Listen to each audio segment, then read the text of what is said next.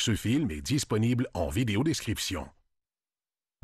Vous regardez Cinémax.